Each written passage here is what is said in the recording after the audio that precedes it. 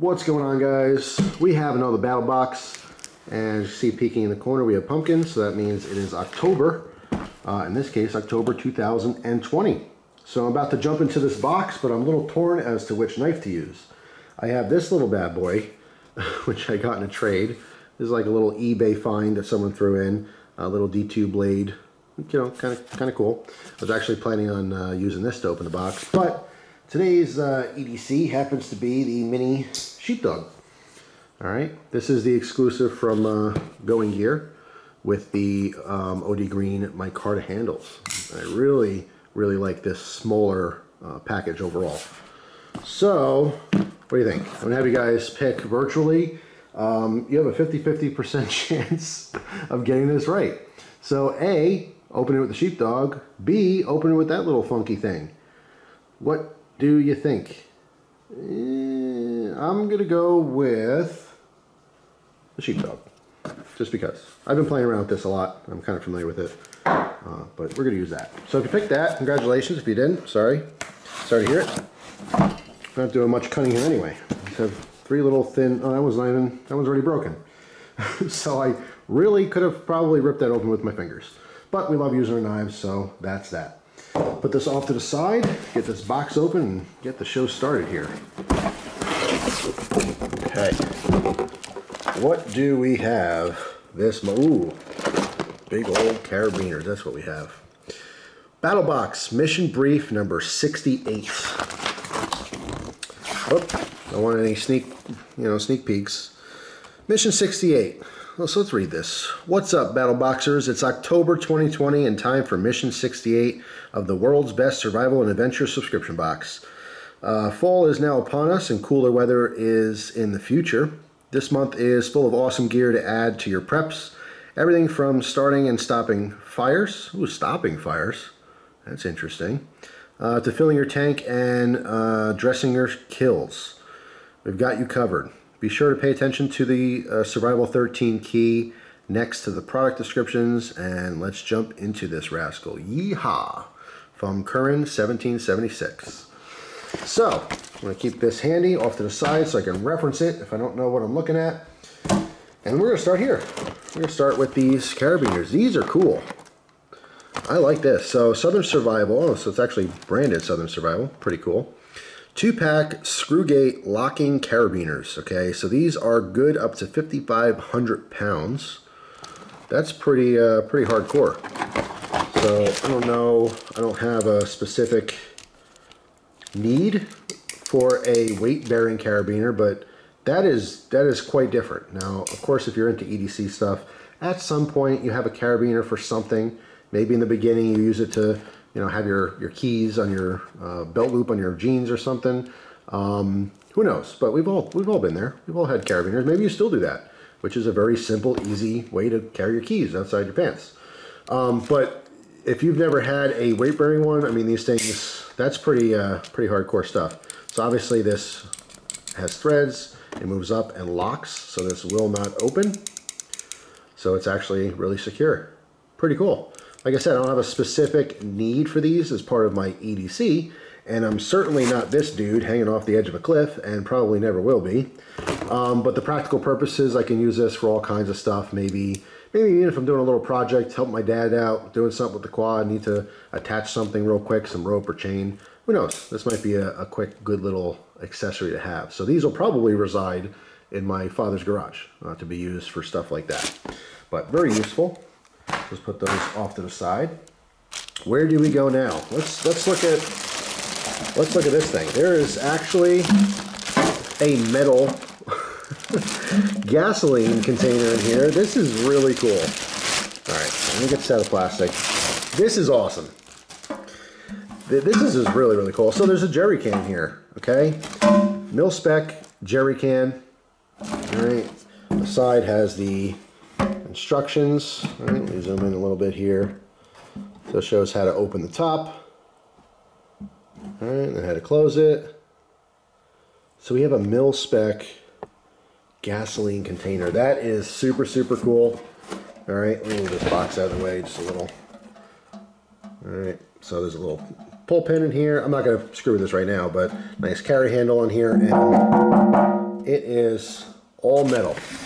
So that is actually fully functional. Very cool thing to have strapped down the bed of your truck um, with or without gas, doesn't really matter. I actually heard someone recently, they were talking about having, they were talking about the trucks with the gas tanks that are in the bed, and they're saying, wow, that's so dangerous. What if they get into an accident? I don't know. What if any car gets into an accident? We all have gas tanks, don't we? So I don't. I wouldn't be worried about that. But anyway, that is that is really cool. I absolutely love that. This is definitely like a prepper's. Um, you definitely would be smiling if you're a prepper. If you're just an average dude, you might be like, eh, I don't know if I'm gonna use that. Even if you use this just to store extra gas to throw in your lawnmower or something, it's just really cool. Nothing wrong with having something that's very functional but also cool. So, and by the way, I don't know if you saw the back there, but it says don't fill above the five liter mark. So this is five liters. It is clearly marked. Okay, so that's how much gas it holds. Um, and realistically, you can put water in there if you want, but I wouldn't because it's, I think it's marked gas, isn't it? Uh, no, it's not really marked. If you took all the stuff off and the stickers, I suppose you could put whatever liquid you want in there. So that's cool. Moving on, where do I go from there? Well, I have to go here because I'm seeing that this is a separate pour spout for the top. I don't know if this, well, this is what we're going to reference. I don't know if that comes with it or if that's something that's supposed to be separate. And it looks like it's part of the advanced box, by the way. No, it goes with it. So that, that makes sense. So you have the actual pour spout, which is very cool, and the additional rubber thing too, so you can angle it. I love it. That, that is a really, really cool item. All right, so no more sneak peeks. Where do we go from there? Let's go to this. Hot Snot, and this thing got crushed, the box anyway. Hot Snot Fire Lube in a Tube. Fire Lube in a Tube. Easy to use, flash, flash, fast, clean fire. You know, knowing how to read really helps, helps these videos. Okay, so instant fire starting without kindling. Ideal for emergency fire kits, survival kits. I mean, obviously anything you want, you know, fire. Safe and easy to use, squeezable, no flare back, burns on water or ice, starts damp wood, odorless, clean burning. So we just basically have a fire starting gel in a tube. And I don't think I have to explain how useful that can be. So we will certainly try this in the future. Caution flammable, I would hope so. Is going to be exposed or is this sealed? It is sealed. All right, so obviously we turn this around and puncture it. I was going to smell it, but I'm not going to right now. We're going to do a separate video on that in the future, see how well it works. And uh, winter is around the corner, so I will definitely be trying this on ice uh, because that's what they're advertising it. but I think there's a really cool gimmick there. Hot snot. I love it. That is definitely going to be useful in the future. Let's put that off to the side. And we're going to go right here because I'm curious what this is. Blaze Defense Fire Suppression Device. Now, I've done videos on this before. Um, they had a small can, I believe it was this brand. I don't know, offhand, you'd have to reference an old video. But they had a, a very small can, much smaller than this, and it did not do anything to put out the fire. And I was putting it, uh, shooting it directly onto um, the embers of the fire. That being said, I have larger blaze defense in my house, okay, case I had a house fire. Um, I have used the larger ones. They work very, very well. I just think you need enough of it to really maintain, uh, you know, a fire. It all depends on how big the fire is too. If your whole house is already aflame, obviously you're not going to break this thing out and save the day. So you have to be realistic, I guess, with the size of container and what kind of fire you're trying to put out. But these are extremely useful. Something small like this is fantastic for your car. I would actually go with a bigger one. I keep a larger fire extinguisher in my car um, in the trunk because you never know. If you've ever seen videos on car fires, they happen quick um, so yeah, the faster you can react, the better. Most people don't have any kind of fire extinguisher in their vehicle. You know, maybe you don't feel like your car's ever going to catch fire, but you don't really know. Maybe you're in a car accident or something, it's minor, but now all of a sudden there's a little fire going. Obviously you want to get away, but it's up to you as the owner whether you want to risk your life uh, putting the fire out before it costs you more money, or if you want to just jump out and watch it burn to the ground because you have good insurance. But either way, these things are uh, absolutely awesome. All right, obviously there's a safety thing here you can pull off before you can actuate that lever. But yeah, these are super useful. All right, there we go. Now we're in focus. So this is the uh, very popular uh, vehicle um, from BattleBox, the whole crew and everything. If you you know if you're into their stuff, you'll recognize it. But that's really cool. That's a really cool patch. I think it's an awesome vehicle to begin with. But uh, that's a cool little addition to a patch collection. Put that off to the side. Well, I don't want to with that yet, or this, because those look like it goes with this, maybe, maybe not. I don't really know. Well, let's let's jump back to this thing. So, an eagle claw.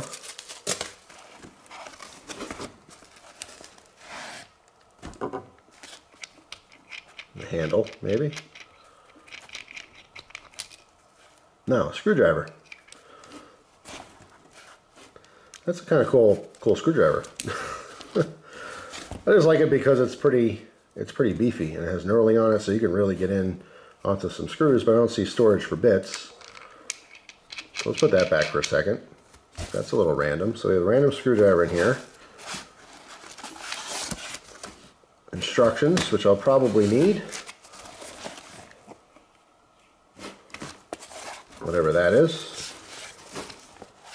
Anything else in there? This looks like another pack in the black. Okay, so these these look like blades. And this looks like it goes to it as well. Is this spare blades for this? Same thing? I think it is. Okay, so I'm a little confused. Some kind of knife, obviously. Oh, we have a saw blade too. All right, well, let me get this card because this is actually showing whatever this is. RaptoRazer. So, what is going on here? This is definitely something new to me. Is this also a handle? All right, I'm gonna have to look at this instruction. And something fell out. We got some stickers.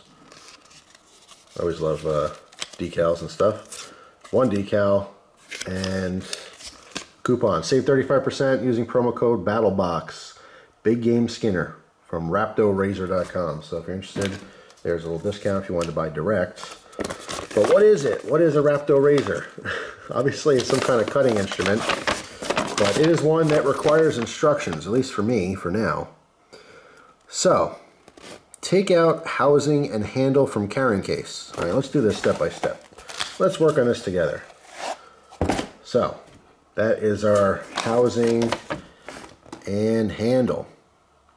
Unscrew handle to reveal the Phillips head screwdriver bit. Do not place the cap on the ground. Always keep it clean. Dirt and or other debris, uh, sand, just keep it clean so you don't damage the threads. Uh, so remove the remove two Phillips head screws from the housing and separate housing B. Let's look at the picture here now. So it looks like you're going to, it's not just a screwdriver, you need the screwdriver to undo these screws and add a blade inside, and this looks like a blade guard. And then once the blade's on there, this becomes your handle. So let's see, put this through here. This is definitely interesting, for sure. That's pretty secure. And then you're holding it like that. Okay, and that's your cutting instrument. That's a really interesting thing. Now obviously, let me zoom in a little so you can see what it looks like with those blades. So you can use it as a skinner. Oh, this is just fascinating, very fascinating. So obviously they're to sell different types of blades and stuff, and as you saw, it also comes with a saw, or yeah, saw blade. So I'm not understanding though how to get this part. Hmm. All right. I am going to have to investigate a little more, and I'll be back. Uh, it didn't take a whole lot to figure that out, but I definitely needed to shut the camera off for a second and focus a little more. So, first off, this one is the Mano, okay? Um, this other thing, that's what was confusing me. Is this other thing, I obviously is sold separate. Okay, this whole big L-shaped one that has the big, you know, gut hook and exposed blade in the back and stuff. This is just what's pictured on the right. So this is actually really interesting. I don't know what scenario I'd want this style knife, but again, when this is all assembled, um, you have like a grab handle. It's a very significant grab handle. Obviously, a nice big guard on here. All right, so when you're not using a knife, you won't be uh, cutting yourself. All right, I guess maybe the guard sits like this because these two little circles go where those screws are, but I prefer it all like pushed in. Anyway, so here it is exposed. Nice sharp blade. Um, and there you go. There's your knife. I mean, it was very simple to take this apart, obviously with the Phillips head screw. There's two screws here, but when you open it up, there's two little pins and there's two holes that correspond with the blade. So it, it kind of snaps in place, put it back together, put this thing back on, and you're ready to roll with a very unique knife. Now this came with three blades, which is cool too, so you don't have to worry about sharpening, although obviously you can sharpen them. But it's nice to have, you know, super sharp razor blades ready to go. Um, and then they also threw in, uh, I don't know if this is one, it's just one big saw blade. Okay, so you can also use this to saw some tree branches and also one five inch blade. So I'm assuming this this also covers that five inch. Am I right? I didn't test this. Whoop, I had it right the first time. And it looks like it will. Okay, so that's why this is a little bit bigger. Because right now it's covering the smaller one, but it's capable of covering the much larger one. All right, so pretty interesting stuff. Now, let me put this back on actually for a second because I didn't try it out, but I saw that there is actually um, a butt cap that comes off. And in here is a hollow space. It's supposed to be, well, that's funny. That's totally not what I expected. So this comes with two spare screws, which is very helpful in case you do happen to lose these. Now you could see this is an orange camo for hunters. So if you're out in, in, the woods and stuff and you are taking this blade or changing a blade out, because everything goes right in this pack, which is really cool. I really do like that. So this can be on the waistband or a bag or something.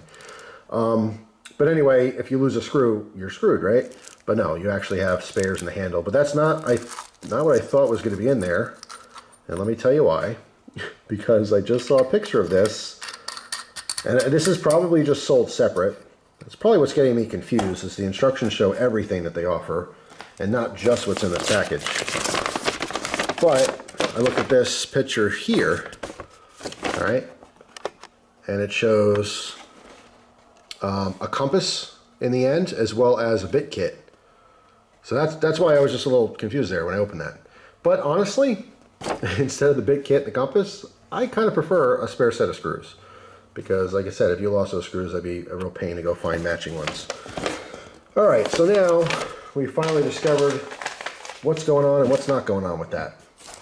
That is uh, pretty interesting. Never seen anything like that. Uh, you know me, I like things that are, you know, new and, and unique and different. That's pretty cool. Uh, I don't currently hunt, so I'd love for all the people who get battle boxes that actually hunt, if you've gone and used this to maybe dress an animal or something, please come back and let everyone know what you thought of it. Because um, it's a cool package, but uh, you know I can't put it to use at the moment. And this one, I don't know if this is going to fit in here. The 5 inch? Yeah, that'll fit now. me fold this over. But I don't think the saw blade is going to fit in this package, unfortunately. That's too long. Yeah, it's way too long. But that's a that's a neat little package here, and you got a big old flat spot here. You can fish your belt through, whatever. Pretty interesting. I like that. I don't know how I'm going to use it, but I like it. Okay, so put that off to the side. Actually, is there any more information on here? Oh, same 35% off for Battle Box in case you want to buy it direct. And actually, you know what? I want to reference. I want to see what they charge for that. All right, it looks like retail is a $100. Ooh, I don't know about that. um, I don't know what they're actually selling for. It's cool, but like I'd really like to see that at like maybe 30 or $40. But hey, I don't make the rules. That's just what it is. So, next thing, a Battletech gear pouch. This looks like and maybe an AR mag holder, but they're calling it a gear pouch so you can do whatever you want with it the bag. So you can see how they have it. But yeah, I mean, you can put whatever you want in here. Maybe your cell phone if it fits, but obviously it's a cool little mag pouch, with some straps on the outside. Um, so yeah, I mean, that's how I'm going to use it. But of course, if you're not into guns, you can of course, use that any way that you feel fit. And finally, we have a knife. Now, I'm looking at this knife and I'm a little confused. I wonder if you guys know why I'm a little confused. First of all, this is Revolt Knives. It says designed by David Kurt. Let's take a look at this first. And then, oh, oh, this is just a wrapper. I thought I forgot a blade. Um, actually, let's use that other little knife to open this. So you both win. Doesn't matter who picked what. Use them both. that was very necessary. Uh, yeah, let's let's look at this first. Then I'm going to explain why I'm a little confused. Let me take this out too. So first, look at the little paperwork here. Revolt knives, or not Revolt. Yeah, I guess Revolt knives is the brand. Is Revolt? Oh no, the Remuv. Am I saying that right? Remuv. Oh, remove. Hello. two and two is four. So this is called the Remuv, spelt weird, by Revolt Knives. Okay, removable gut hook for skinning, field dressing, um, caping, or cleaning of large and small game. So it shows you how to remove this. But I don't really need to look at that because I'm familiar with this knife even though I've never had it. And that's where I'm a little confused. Let's pop this off, take a look at it. Looks pretty cool. Feels comfortable. Um, and then on the back here, I'm assuming, oh, what do you know? That pops right out. So we have our separate gut hook, which is comfortable to use. Now, how did I know that? I've never had this knife. How do I know how this works? I know some of you guys watch my videos for a long time are going to know exactly where I'm going with this. But the reason I know how that works is because I had a knife that was extremely similar to this. And it was by Klecker Knives. It was almost identical. Now, I don't remember the handle style, but I remember specifically like a, a, black and red, even with the green, if I'm not mistaken. And it had the same removable tool. So what's the deal with that? Who came up with this the first time? Maybe they sold the idea. Maybe that's what it is. All right, I knew it. So looking at my uh, cell phone here real quick, I did a review back in March 9th, 2016 of a Klecker Knives Abiqua Hunter. Come on guys, well I have another knife review for you today.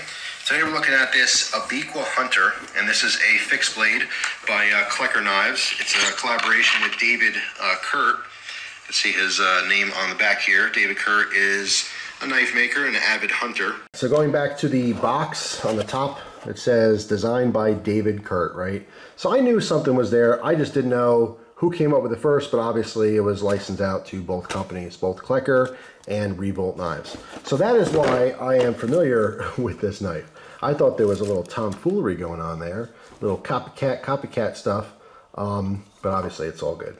Super, super comfortable though. I mean, you know, if you want to check it out, check out the other video I did. Uh, I talk all about it. But yeah, it's it's a super, super cool design if you've never seen it before, just having that little hidden uh, gut hook in there. Obviously, it's very functional, you know, as a gut hook or a strap cutter for that matter, if you need to cut a seatbelt off or something real quick. Um, it's really cool, but I mean, there's such a gimmick there and a novelty. When people see this, like, oh man, I have to have that. Even if they don't really have a use for a gut hook. It's just kind of a really cool addition. So yeah, very, very cool knife though. Um, and a little blast in the past. You know, it was about four years ago when I uh, talked about that knife.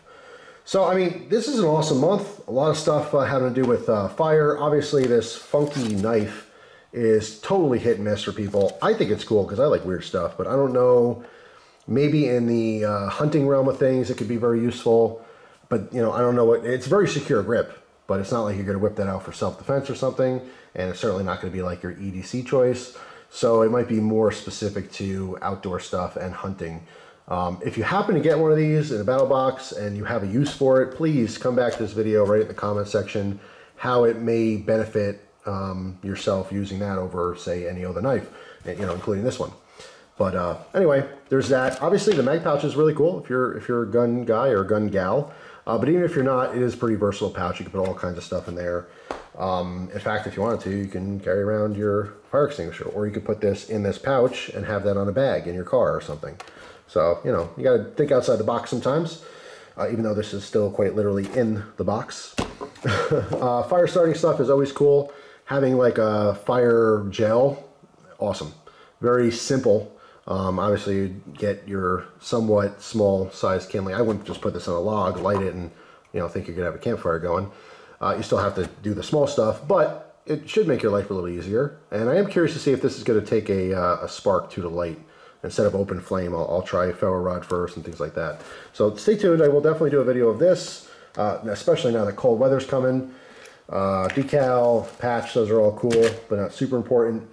Um, the carabiners, I have off to the other side here. Those are really useful for some people. For me, a little bit more of a novelty, but still pretty cool.